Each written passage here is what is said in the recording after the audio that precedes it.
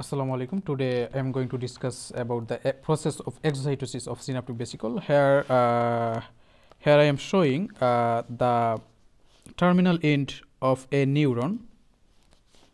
It's the terminal end uh, of a neuron.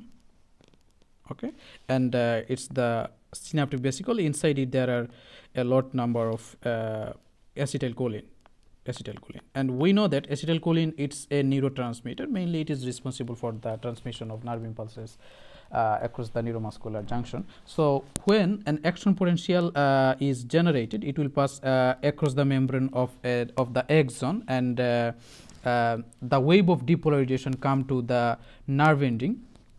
After coming to the nerve ending it will cause the opening of voltage gated sodium channel so after the opening of voltage gated sodium channel, a huge rush of uh, sodium will occur from outside, from uh, outside to inside. Okay. So due to the opening of uh, voltage gated sodium channel, a huge rush of sodium will occur from outside to inside.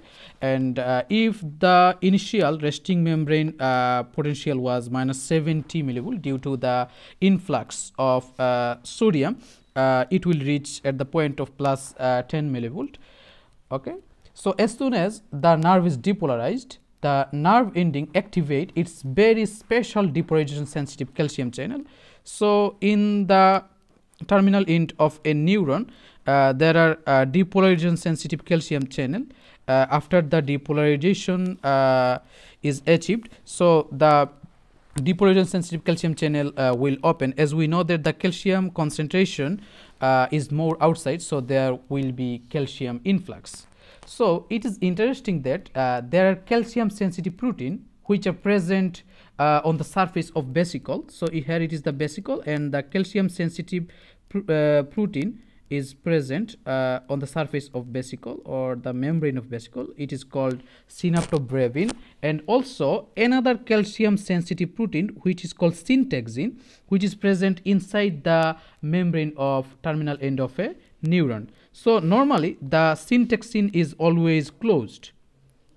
So after the influx of calcium, the calcium uh, will bind with the syntaxin and the syntaxin, uh, the two end of syntaxin will open and the two after the opening of the two end of syntaxin, the synaptobrevin will uh, fuse with the syntaxin.